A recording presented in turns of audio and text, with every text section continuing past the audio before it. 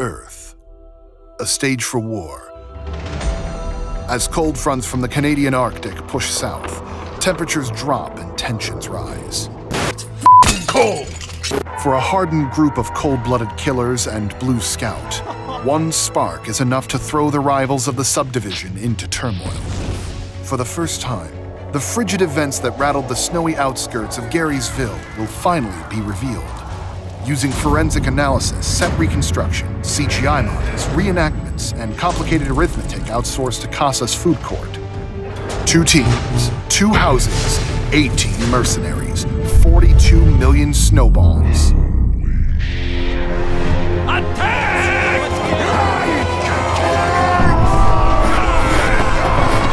The world's 78th largest snowball fight revealed.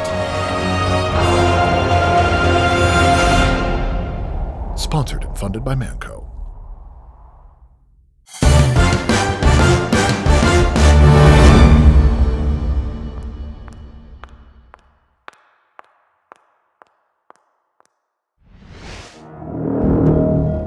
Garysville, Colorado, January 7th, 2017. The day is still within the Ape House subdivision. Mercenaries hired by Mann Co. to compete over gravel pits await their deployment. Every week, we go on tour. The Blue Division of Mann Co. competes over gravel stocks for the next month over red territories, and vice versa. Most of the time, it's exhibition, on occasion, it's broadcasted, and sometimes, it's for keeps.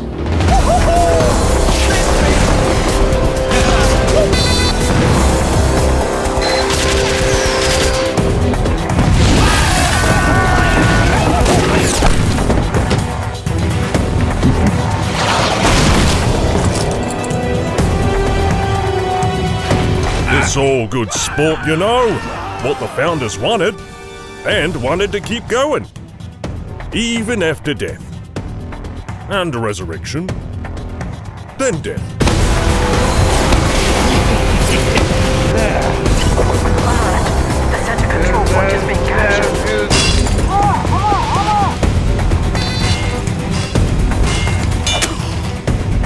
Even though the competitive matches are a money sink, yield little to no profit for us, and denies us insurance benefits from the state, it shows us the many spectacular ways men can kill each other. And it's entertaining.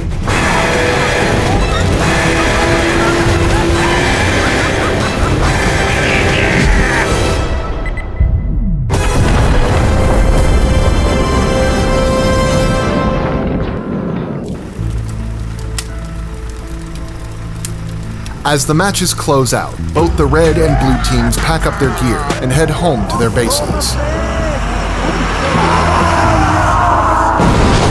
Their bases, two large ABE houses outside of the city of Garysville, one of the two satellite municipalities of GM Big City.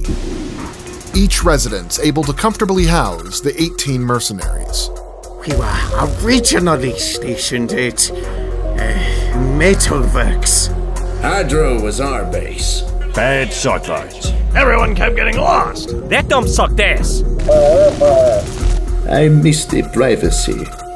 It was in the best interest for Moncool to move us to a base that is within reach to much of our many event locations. Who's cheaper? Living outside the Colorado Rockies has its downsides compared to living in the Badlands of New Mexico. Snow. There ain't that much snow in New Mexico. We looked at it. Oh, yes, the warm weather. During the winter months, we yearn for a game down south just to soak in its hot sun. Though there is the unfortunate possibility we will be assigned to a match with even less favorable temperatures. Snow. Something the Russians and Canadians invented to keep us Americans down for a quarter of the year. I do not fear it. I weaponize it. After a grueling tournament at Upward, the red team returns home with zero wins. Yeah, we didn't do that bad. I mean, if and only if you overlook the fact that we were getting creamed one match after another by the Blues. At least we had fun. We sucked. Standing victorious, the blue team celebrated in the front yard. All because some bloke locked us out! With the blue team locked out of their home, their spirits were high and erratic. As for the red team, uh, their fortune has not improved. Mann Co. only allows us to keep one set of keys to the house. So we don't lock the door anymore.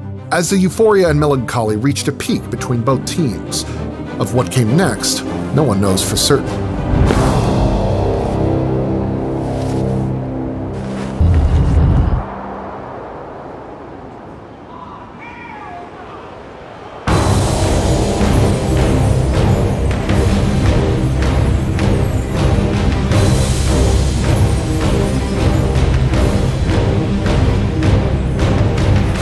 A snowball, roughly six inches wide, struck the red soldier.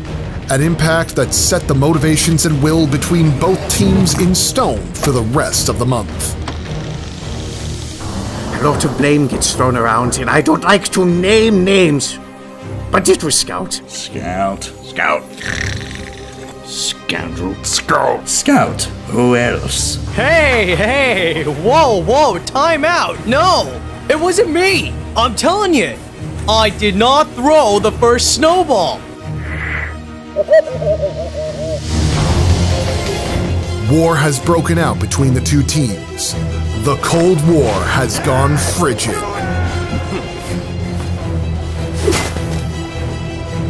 It was chaos.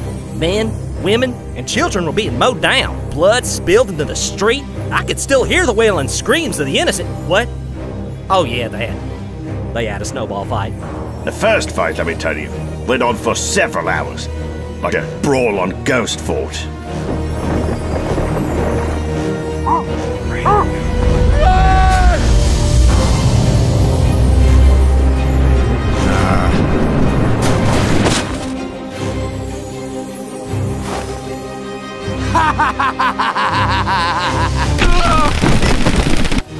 Like spice, snow is a valuable resource.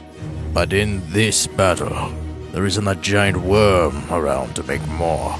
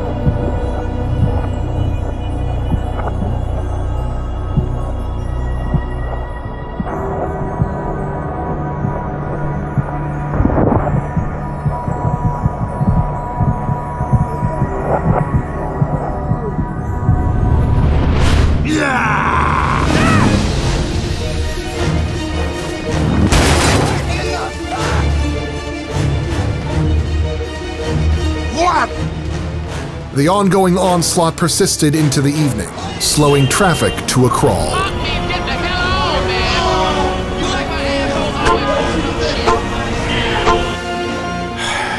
Big waste of time. As the night crept in, Red and Blue Team knew they were unprepared for a sustained conflict without a proper battle plan.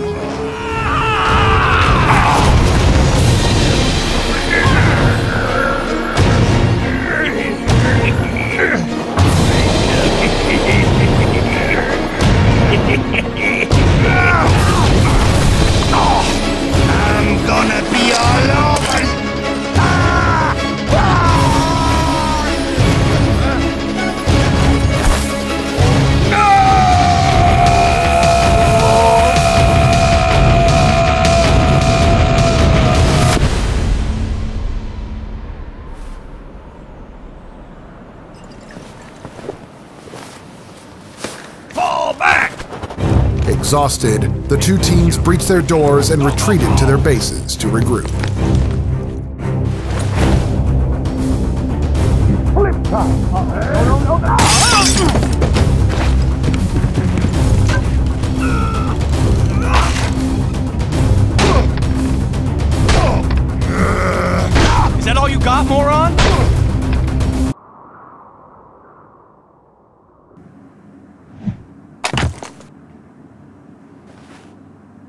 Night settled in, and the first battle of the war took its first casualty.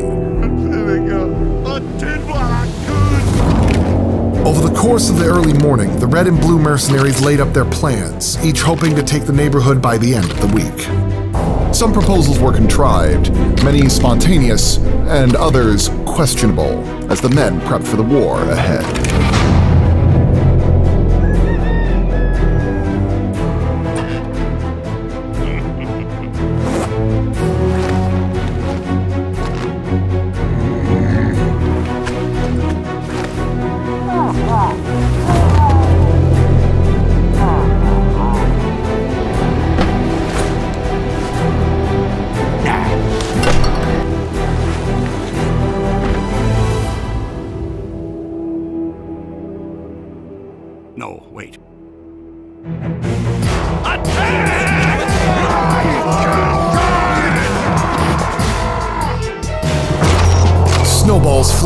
Dawn to night for several days.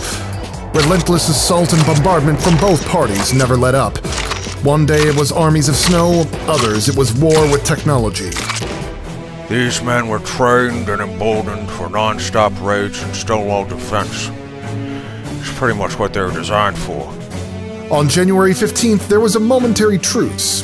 National Hat Day was observed by both teams, though it only lasted for a half hour.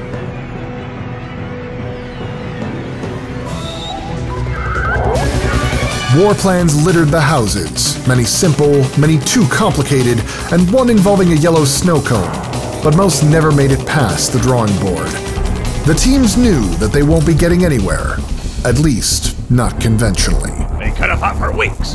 We could have held out for longer. But we needed to change things up. War production. The backbone of any good offensive. Hey!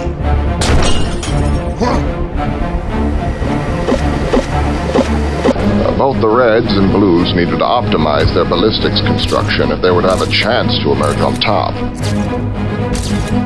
Several designs were tested, many failed. There was no point in reinventing the wheel, so to speak. The snowball was just too good a weapon. As the ammunition piles up, the next task at hand became paramount. Efficient delivery systems. Yeah, throwing snowballs is one thing, but throwing them for 8 to 16 hours straight? I gotta save my good arm for. bed. So we put pyro on it.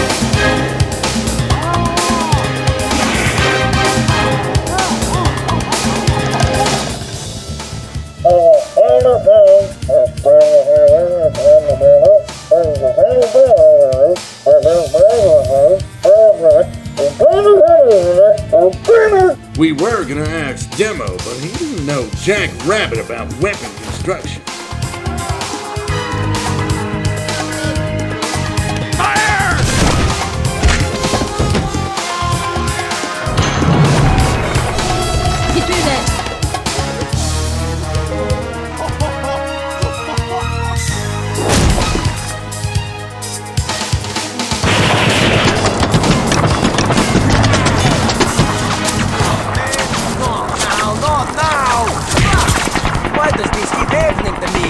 Unable to get a leg up over their red rivals through production and arsenal, the blue team shifts to a more illegal tactic.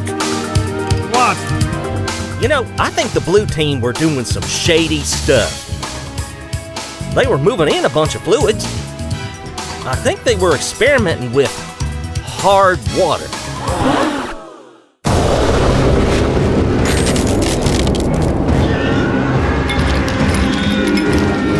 Hard water, commonly known as ICE, revolutionized the blue team's war effort, giving them the edge they need to lead the offensive. Snow is just water, pretending to be sand.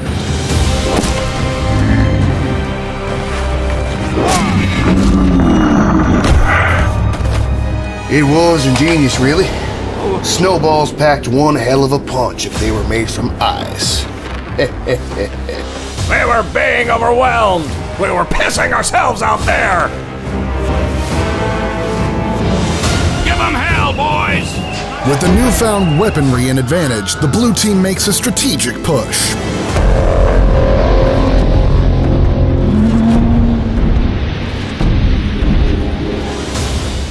The offensive was devastating.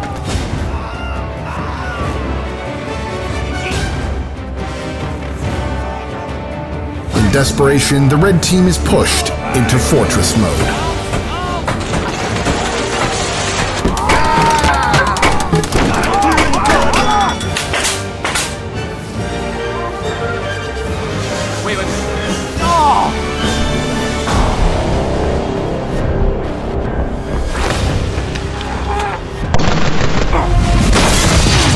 Shielded from their icy onslaught, the blue team's advance had slowed.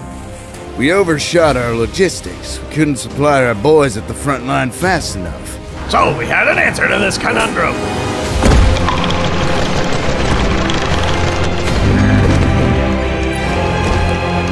It was an incredible sight. Brilliant plan. It was just a snowball fight.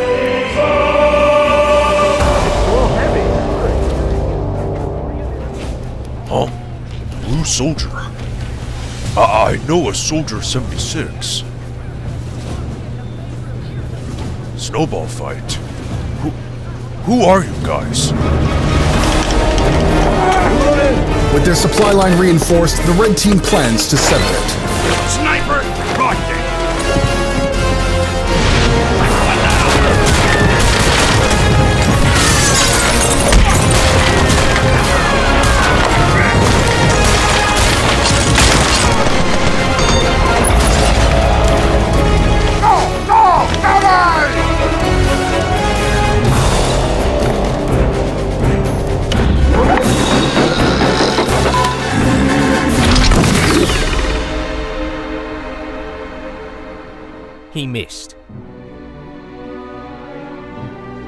pride destroyed, the red sniper is out of commission.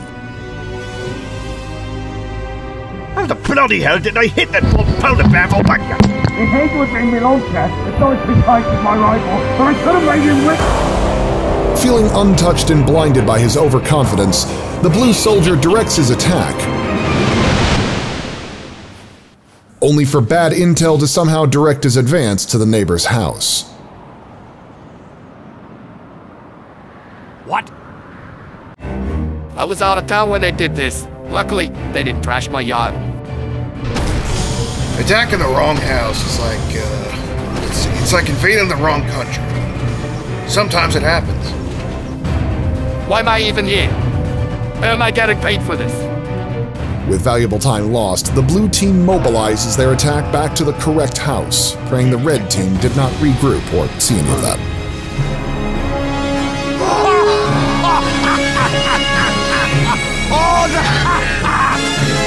Time to get blooded! Ah! There was snow? I, I don't remember shit. The blue team's excursion cost the Mercs their momentum. The red team has suppressed the blues' advance.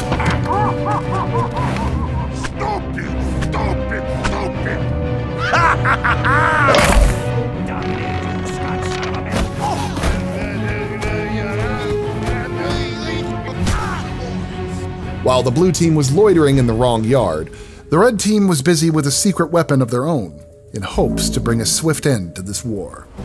The blue team was using ice balls. I think it's a war crime in some doctrine. it was. Anyway, we had a solution. The ultimate solution.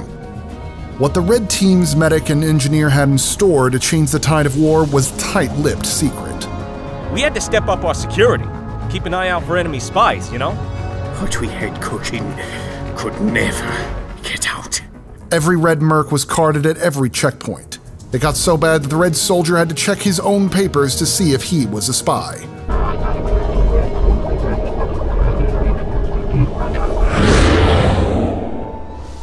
Hey, yo, the With the enemy at the gates, the red team was running out of time. It was grueling, Merc planning everything out. What we planned was inhuman. It's just a giant water balloon. After several minutes of research and development, the red team's ultimate weapon of winter warfare bears fruit. With the new weapon weaponized, the red team just now needs a delivery system. So I called in a favor.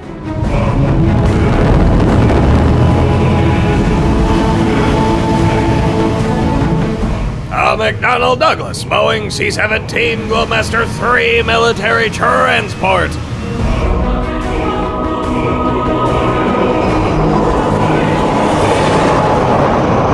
Four turbojet engines of pure American thunder, capable of airlifting thousands of tons of cargo over mountains and deserts. Just what we need for the bombing run.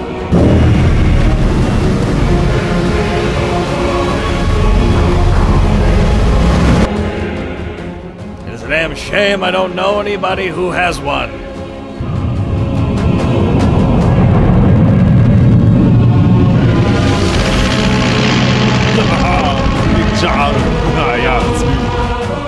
The incredible size and weight of the water balloon described by Jane Doe can never fly from a plane that size, let alone hold itself together. Ah! Then again, the physics of this world doesn't make any sense.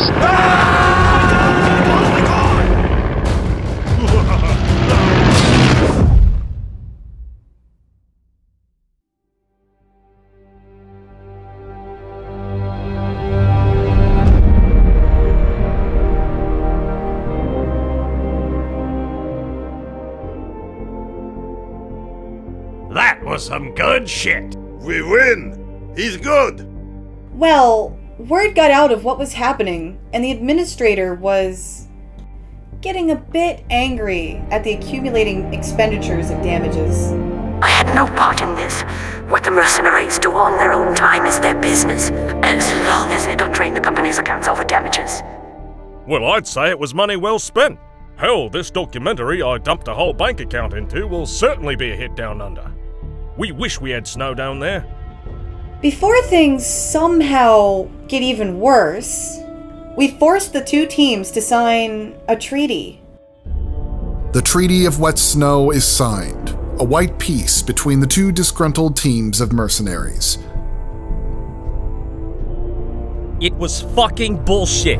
We won that battle. I have never been robbed of a victory like that since the Badwater tournament in 2015! It was like going to Burger Tank on a hot day and the ice cream machine's broken.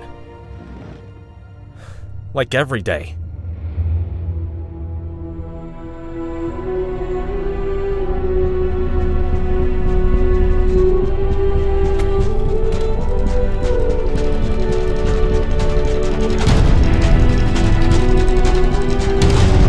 It was crazy, but hey, it wasn't the craziest thing that happened to us that year. Our crew coming to an life and attacking us.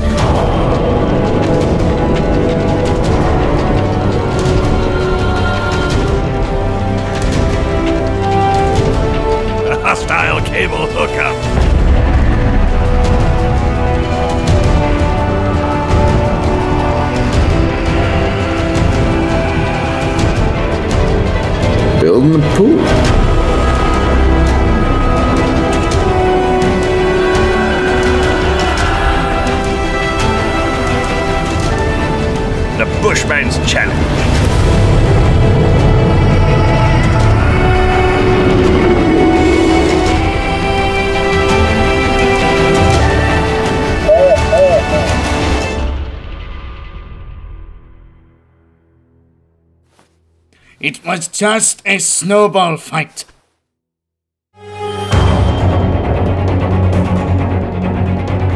Coming up next, James May and Richard Hammond go squatting in Dracula's castle. Will they survive the night? Stay tuned and find out.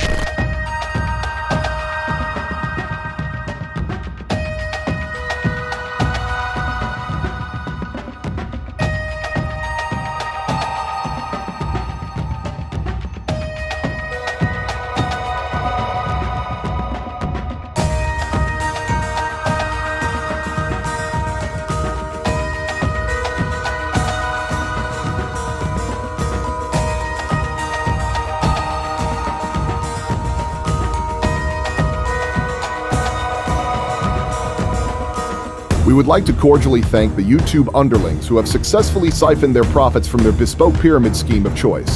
Thank you, minions. Your contribution will finance the machine that will beat our employees until morale and productivity improves.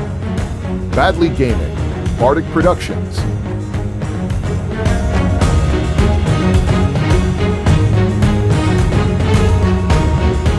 Japiska Art, Lazy Lays.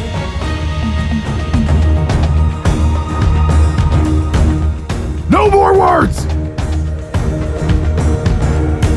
Rye Sands, Rat Jazz. Spacoon.